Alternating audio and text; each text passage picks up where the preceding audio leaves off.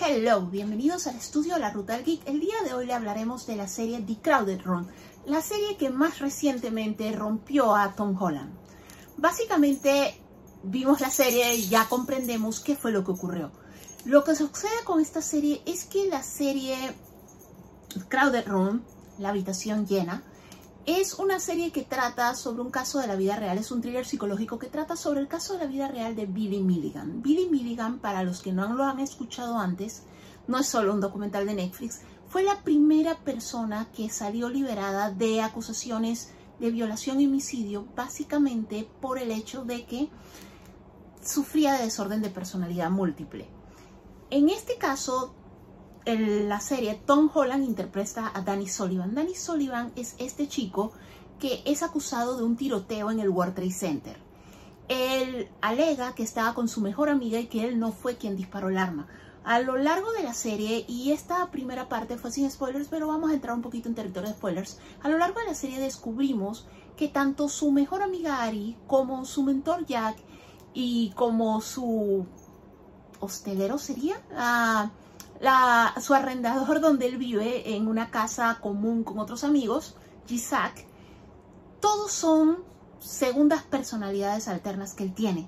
Esto quiere decir que The Crowded Room, la habitación llena, es realmente una alegoría tanto a su mente, dado que el personaje original en el que estaba Billy Milligan se llegó a descubrir que tenía más de 24 personalidades, o en el caso de la serie están la serie se desenvuelve a través de una serie de entrevistas que le hace una psiquiatra que está protagonizada por Amanda Siegfried.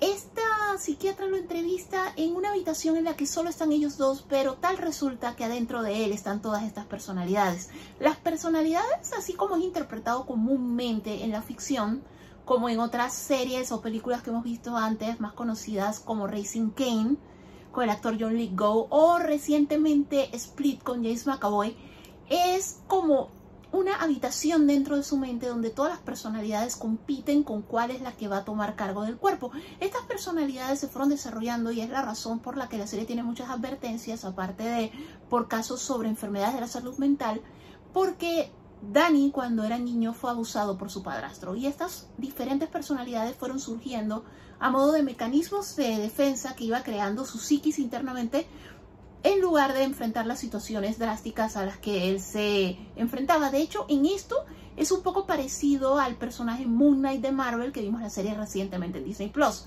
en lo cual él desarrolla diferentes personalidades, algunas violentas, algunas más como negociadoras, carismáticas y otras netamente como Ari, que es la personalidad como quien dice el extrovertido, la que se expresa, la que parrandea y que la que libera ciertas cosas que él no sabe expresar, como por ejemplo el caso de que Dani es homosexual.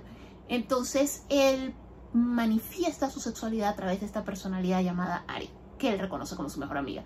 A lo largo de la historia es bien curioso porque se va desenvolviendo como el club de pelea, porque tú ves las reacciones de la gente a él en estos casos cuando él está en peligro, escenas en las que lo van a abusar y todo esto, en la que aparece otra persona, un amigo y lo ayuda.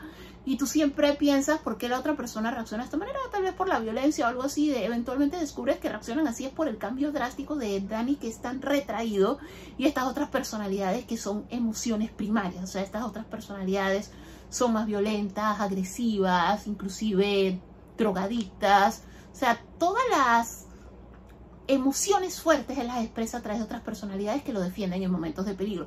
Eh, la psiquiatra está tratando de probar que él tiene este desorden más que nada porque en este caso Dani es inocente del crimen que se le acusa porque realmente no lo hizo él, él, y él necesita ayuda psiquiátrica, no estar en prisión y de hecho no se garantiza que él sobreviva a estar en prisión.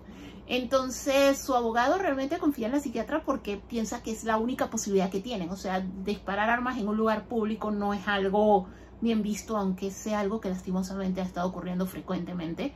La película se desenvuelve en los años 70, lo cual explica gran parte del hecho de por qué le pasaron gran parte de las cosas que le pasaron, por qué no puede expresar algunas cosas como su propia sexualidad, más que nada porque eran eh, años en los que las cosas estaban un poco más reprimidas. La serie es bastante buena y demuestra el rango histriónico, el rango como actor que tiene Tom Holland. Eh, sí comprendemos por qué le afectó, porque es algo similar a lo que le pasó a Evan Peters cuando interpretó a Dahmer.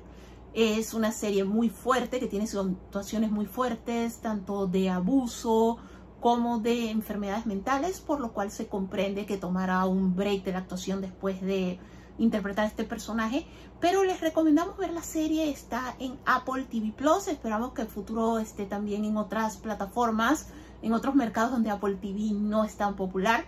Esto, como les decimos, es una es similar a Cherry, que también era de Apple TV, que también le dio una oportunidad a Tom Holland en esa ocasión de actuar como alguien con problemas de drogas y adicción. En esta ocasión le permite actuar como alguien con una enfermedad mental tan severa como es este desorden, este polémico desorden, porque no, no es realmente como lo interpreta la ficción y... Eh, o sea, es un caso bastante polémico en el mundo de la psiquiatría, pero la serie es totalmente recomendada. Creemos que probablemente lo nominen a premios por esta serie. Saludos.